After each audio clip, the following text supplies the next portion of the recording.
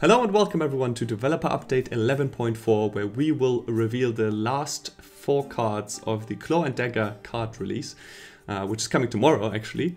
And uh, alongside it, there will be some balance changes and we are going to show you the highlights of those as well, giving a little bit of insight on why we did what. And that's why Jean is here with me.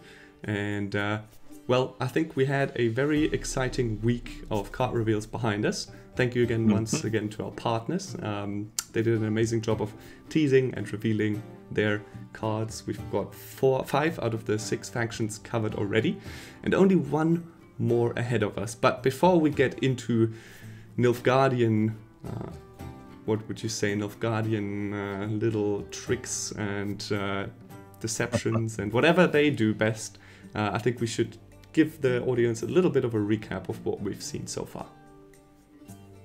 Agreed, agreed. So let's talk a bit about the different factions that are already been revealed.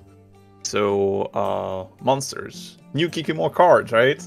So support for like a swarm playstyle of swarming the board with drones. Uh, we try to kind of give them new payoffs and new strategies, but also new tools to be able to manage the board right, because that used to be one of the big problems and still is going to be of the archetype. The board is limited in space. Um, Northern Realms, uh, the first faction we started revealing. Yes. Well, we explored Sigi Reuven Syndicate in 10.10, and now it is time to explore him in Northern Realm, there is original identity of Sigismund Dijkstra. Dijkstra. Uh, you know, his spies and, and, and all of these, they focus on deck summoning and more importantly deck boosting, as everybody realized. Yeah, I mean, you know, On spies, Scoia'tael, they give intel Mhm. to your units in the back, you know, so that your units get better. Yeah, I think it makes a lot of sense. with Scoia'tael, uh, we've focused on deployability and on this idea of reusing them uh, with these cargo tokens. Uh, as such, strong elves, you know, elves with like a very strong deploy, they will be a threat even after they've been played, right? And they need to be either answered or they need to be taken into account. For Skellige, we have actually developed uh, the identity of Skellige Beast and tried to tie it to rain. So we have cards like Kelpie and Kraken that brings extra rain and storm to the table.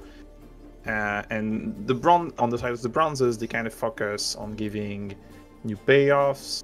So we have Anglerfish as a card that requires you to be mindful with your management of rain and sea, uh, of rain and, and storm, whereas uh, Sea Serpent can be used in long run as a pretty good payoff. And finally, for Syndicate, we are exploring the Open Sesame questline from The Witcher 3. Uh, but not only that, we are also exploring a new ID for Syndicate, which is this idea of spending your coins down to zero. That's me. Um, it's you. Yeah, spending all the money you have, you know.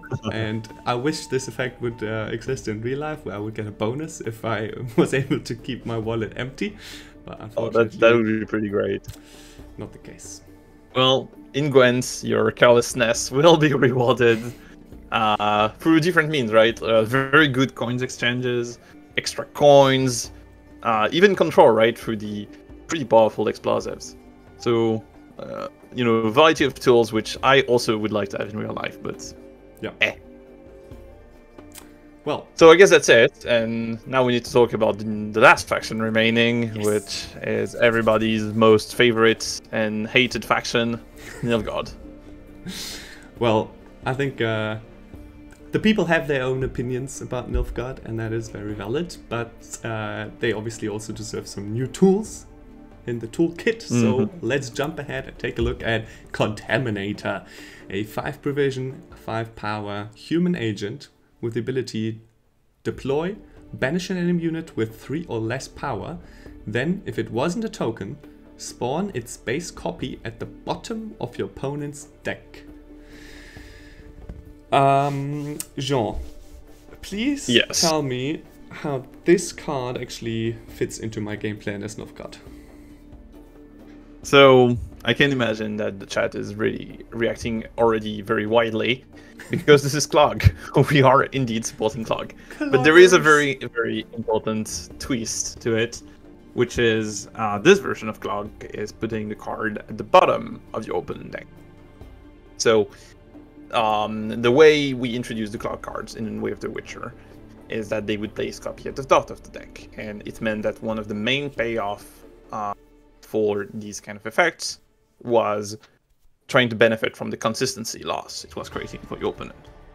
Uh, but Contaminators clogs from the bottom. Um, it is a weaker effect, but it supports already existing clogged payoffs, right? Cards like Colgrim, and comes uh, with this, you know, benefits of not being as frustrating for your opponent because it's not messing up your consistency. So when it comes to Contaminator itself, its effect, it's a low power card removal, and uh, we so you know a, a, stronger effect than what you can expect on the regular clog cards from Way of the Witchers. But again, uh, even though you don't benefit from this consistency loss from your opponent, you still have all of the added benefits of increasing your opponent's deck size. So I feel like we've learned from past experiences by uh, including the tagline "If it wasn't a token," is that correct? yeah, uh, uh, similarly to the clog cards from Way of the Witcher, uh, which you know is a variation we introduced after a few updates, right? The fact that they cannot target tokens. Uh, we started from the get-go with this uh, effect being limited to not being able to put tokens in, the, in your opponent's right. deck. Seems good to me. Uh, next up, we've got, I would say, a title card if someone would want to describe Nilfgaard as a concept, and that is the Toxicologist, uh, the Toxic Faction, as you might say. This mm-hmm. is a 4 power, 4 provision human card with the ability deploy, infuse an enemy unit with whenever a card enters or leaves your deck, damage self by 1, and then if it wasn't a token, spawn its copy at the bottom of your opponent's deck. Yeah, so similarly to Contaminator, Toxicologist is a card that clogs on the bottom. Mm-hmm. But more importantly, Toxicologist also comes with a very direct payoff to the idea that you're messing up with the size of your opponent's deck. Um, and you know that messing up is uh, will result in a pretty good removal effect, right? Even though it's a bit slow, the potential to remove a lot of points is really there it's also important to note that since you are immediately, you know, spawning uh, the card in your opponent's deck, this will immediately trigger the infusion, right? So mm-hmm. on play, on infusing something, you immediately inflict it with uh, a one point ping. And if it wasn't a token, obviously. Yeah. Well, I think one thing you always have to remember when clogging your opponent is not to give them any cards that they could potentially use. I mean, they probably won't draw into them mm-hmm. unless they shuffle their deck in some way. But there are obviously tutor cards that could perhaps pull cards yeah. from your own deck. So always take care and make sure you infuse the right cards and spawn the right cards at the bottom of the opponent's deck. But I don't think uh, the experienced players out there need that kind of tip. But anyways, wanted to mention it. Next up, we've got a very special person, Sandor de Bacala, a human agent. This is the first gold card for Nilfgaard here, with 5 power and 10 provision. And his ability reads Deploy, shuffle a card from your deck into your opponent's deck. Order, spawn a drone at the bottom of your opponent's deck and set its power to the difference between the number of cards in the player's decks. Whenever a card enters or leaves your opponent's deck, boost itself by 1. So there's a lot going on, but I'm pretty sure that once we've got it figured out, it's actually quite simple, right?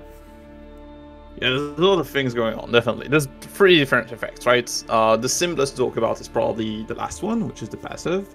So very simple payoff uh, in this in a form that is similar to the infusion from Toxicologist, but that will allow the card to grow quite a bunch if you, you know, as as you keep clogging, right? Uh, then we have the deploy effect. You basically thin by one and increase your opponent deck size by one. Uh, and you know you can potentially give him a bad card. That possibility.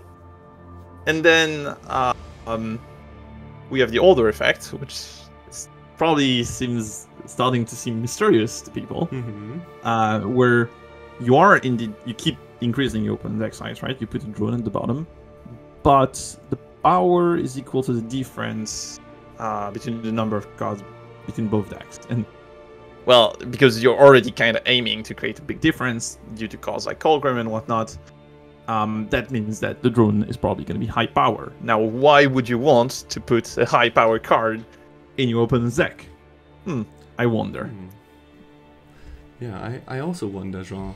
Uh, shall we shall we find out? Yeah, maybe we should. Well, here you have Abduction, a tactics card, uh, nine provision. This is the, the legendary. It's an echo, and its ability is play a unit that isn't from your opponent's starting deck from their deck with a provision cost of 10 or less. Boost it by one for each provision below the limit. Now, please tell me the amount of provision that that drone has in the opponent's deck. Zero, Ryan. And as Ah. it turns out, because of all of these limitations of not being able to target tokens, there isn't a lot of ways you can put tokens in your opponent's stack. So, if Abduction targets the drone that has been put by Sandor de Bacala, he's probably gonna play for a lot of the points. Um, but that's not the only thing Abduction can do, obviously. Um, Abduction is meant as a new way to pay off from all of these cards that you put in your opponent's deck.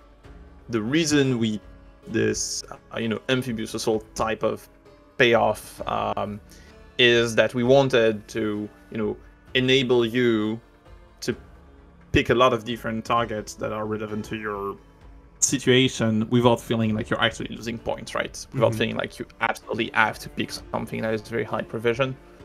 It one thing to note is that in a way it is a bit uh, slightly counterproductive uh, due to some part of the game plan that you have as a clog player, right? Uh, you reduce the number of cards in your opponent's deck, which means Mhm. that Colgrim can have a bit less points. Uh, but we think that it's going to be worth it, and more importantly, this is also why um, cards like Toxicologist Infusion or Sandor de Bacala uh, passive have been worded in such a way that it works when a card has been added, but also when a card is being taken out. Which Mhm. also means that if your opponent is, you know, tutoring cards out of his deck, well, he's playing in your game plan to a degree. Nice, very nice. So, clog, but with a twist, I would say, and actually, kind of negating that negative effect that people maybe did not like as much, or some people didn't like as much about the original clog concept of, you know, blocking the opponent's game plan per se. Um, also, uh, there are cards, you know, that take key cards from the opponent's deck, and some people are, uh, you know, wondering how these cards maybe work around that. And with the Abduction, we can already see that uh, you cannot target cards that have existed in the opponent's deck at the start. So you're not there to to abduct any, you know, high-level gold cards or rent freeze from the opponent's deck, but actually create your own game Yes. plan imposed on the opponent's deck in a sense. Yeah, the original Clog uh, used to focus a lot on finding its value through preventing your opponent from playing. So, you know, paired with the original lockdown, which would prevent the use of the leader ability, uh, it was very, very disruptive. The goal we try to achieve with this expansion to Clog is make it into something that is doesn't have to rely as much on disruption and can just more rely on doing its own thing Mhm. um, while still letting your opponent actually play. Yeah, awesome. Uh, one quick, just uh, clarification, just so I'm uh, making it clear for everyone. The first part of this ability, uh, shuffle a card from your deck into your opponent's deck.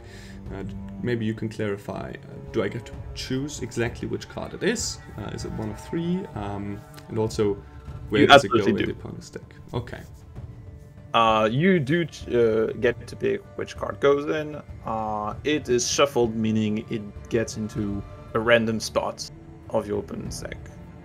So, Awesome. you know, if you take a very good card, you take the risk that it might land in the top of the opponent's deck. All right. So you better abduct it quickly. mm-hmm. And there you have it. The final four cards of the Claw and Dagger card drop. Uh, thank you very much, Jean, for running through those with me. Um, as always, we don't just bring you new cards, but also create a little bit of a adjustment to existing cards to benefit from the newly created cards. So why don't we go ahead and take a look at what we have prepared for the existing Rostov cards, Jean. Yes. Uh, so first of all, monster. We've made a few adjustments to some of the cards in there to fit with, uh, well, the new package of monster insectoid we've done. So in the case of either, I, I will let you read it.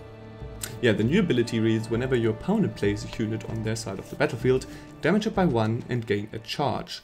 Order, spawn a drone on this row, and you start with zero charges. So kind of relying on your opponent playing cards on their side of the battlefield. Then you get to spawn drones from it. Yes. Um, so the original either never really landed in terms of how we wanted it to work.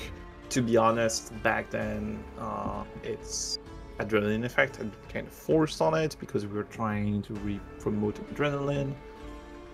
Regardless, this new effect is much simpler, but it provides very decent value on the long run and has the of dual benefits of, well, obviously being a nice source of drones for you, but also softening enemy units, uh, which mm-hmm. is going to matter, for instance, for your Kikimore Stalker. Next up, we're going to jump mm-hmm. into the Armored Arachas. uh, 5 power now, and its ability is Deploy. If there is another card on this row, lock self. Timer 3. If this row is full, boost self by 12. Oh, some, some playing against the clock shenanigans here. Yes. So in the previous patch, we talked about uh, how we had given Armored Arachas previous effect to Plumard, because we mm-hmm. felt like this was an effect that really, really belonged to Vampire, not really to Insectoids. Yeah. So now it's actually time to give it a different effect. Um, as you said, uh, Armored Arachas is kind of a gamble, right? Where you you take the gamble that you're gonna be able to fill up your row fast enough so that at the end of the timer it actually boosts self. Uh, it does need to be dropped on an empty board. Mm-hmm. So, yeah, you have to be careful uh, about your timings. Yeah, your row needs to be empty, and you gotta swarm it after that quickly. Mm-hmm. Which gives your opponent a little bit of insight into your game plan, but uh, maybe you can actually play around with that, you know? The bluff. You're not actually planning to fill the row. Alright, that's uh, the first two monster highlights, but we've got another slide filled uh, with monster goodness, and it is actually all about the queens, the Kikimora queen and the Indriga queen. So the Kikimora queen now has an additional line which says whenever you play an organic card, trigger own thrive. Yeah.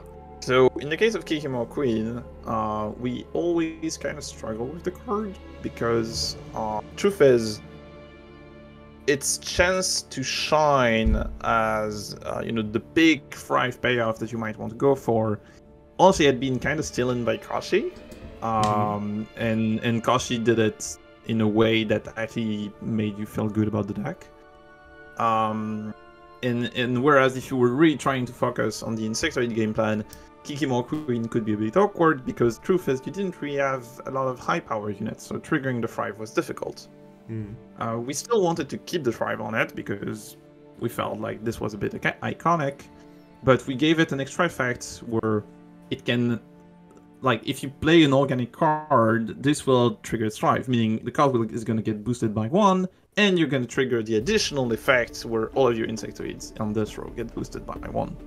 So that should work much more nicely in the Arachas Swarm environment. Perfect. Anything else to say here? Well, we have Endurga Queen, right? First of all, uh, you still get to consume an allied unit, and then you gain armor equal to its provision cost. So, uh, explain why we made that change, Jean. Yes. Um, so the main reason we've changed it is so the card used to gain armor based on the armor of the consumed unit, but this only really made sense with Kikimore Worker, and and as Mhm. such was a bit of a weird combination. So we felt like uh, this effect would make it feel much better with an entire range of stuff you can do with it, um, and and yeah, allow you to more easily gain value from the card. Fair enough. That's it for monsters. I hope they are satisfied with those changes. And next up, we're gonna jump into Skellige and, well, beast support. First up, the corrupted Flaminica. A little bit of an adjustment. Yeah. Now, actually boosts by two instead of one. But there is a, well, there's another word here which says unique, which means that it now counts unique beasts in your graveyard, not total beasts, right? Yeah, very important change. So, um, the reason we made that change, uh, and particularly the unique part, is Corrupted Flaminica used to kind of scream to you that game plan it wanted you to adopt is that making a lot of copies from your beast and just swarming your graveyard with these copies. And, th- and that wasn't something we were very interested in. Instead, by putting this unique uh, keyword on it, we kind of encourage you to play a, wi- a wide range of beasts, right? Instead of retrying to make a lot of copies. And um, that allows us to bump the payoff from 1 to 2, which is much more exciting. So now the card should prove to be a very scary point slam on the third round. Awesome. We have got another card change for Skellige, and that is the Tuirseach Bear Master. And now only two power. Um, deploy, boost self by the number of unique allied beasts. Order, damage self by own boost. Then damage that many enemy units by one. Uh, a little bit of an adjustment here to this bronze tool in the beasts toolkit. Yeah, so fun fact this ability originally was an ID for Sea Serpent, Mm, but eventually we moved it to Tuirseach uh, Bear Master because we felt like it was a better fit. Uh, the main ability, you know, the main effect resides in this deploy, right? Where in if you get later in the round where you have a very developed board with a lot of different beasts, you you, you get a very potent point slam. Um, but not but but um, the order gives you a bit of flexibility too. Uh, it is zero points, but uh, you can use this to kind of redistribute the points as damage, which can be used for extra control and you know synergies with some of the existing cards. Yeah, Skellige loves damaging units, that's uh, for sure.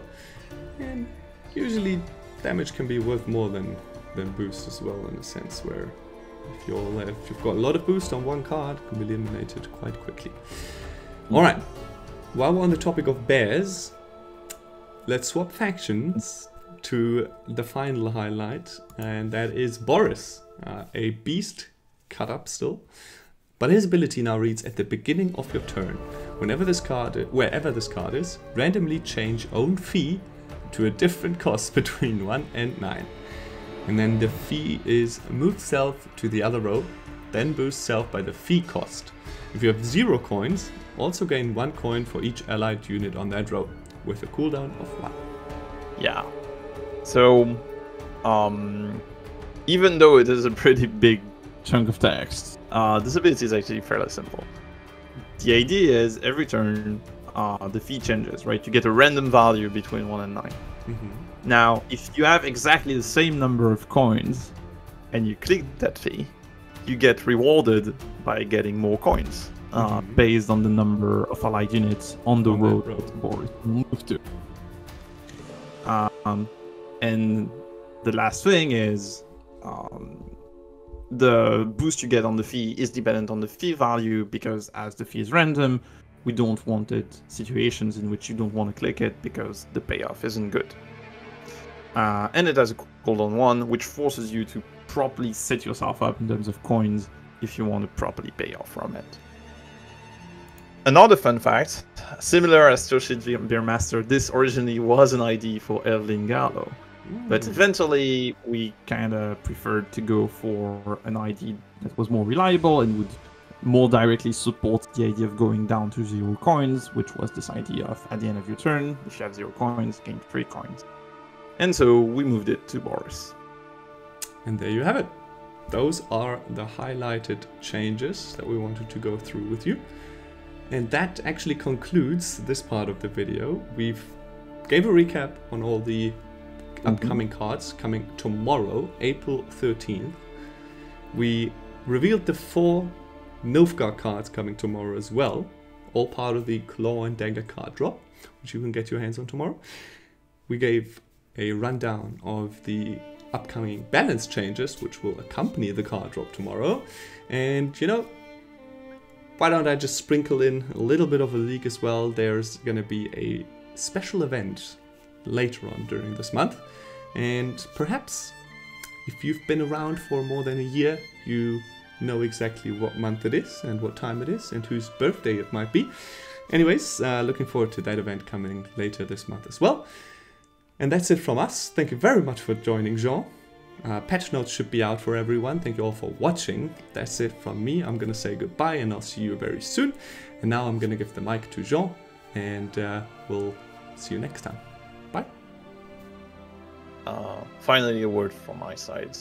Uh, sorry to break the fun, but everything must come to an end, and as it turns out, this will be my last developer video. Uh, starting next month, I'll be moving on to new adventures. It's been quite a journey for me. Uh, started playing Gwent uh, during the closed beta, and I dreamed of uh, joining that team, and I eventually did during Way of the Witcher. It's, subjective and hard to determine, but I sincerely hope that the contribution I brought to Gwent helped make it uh, a more interesting game to play. Of course, design is a teamwork, and while I won't be there anymore, I'm leaving you in the good hands of my fellow designers. I've merely acted as, as the spokesperson for team, and uh, well, I've been very grateful to be given that opportunity to interact to the community like this. And speaking of which, I would like to thank each one of you, and more particularly your streamers, or content creators, or article writers, and anyone who pours themselves into that game and is the beating heart of that community. My greatest pleasure and interest as a designer has been observing how you make the game evolve, and you know all of the unique and new ways you use the element we give you, and end up surprising us. This is goodbye, but maybe someday in some other place. I'll see you again.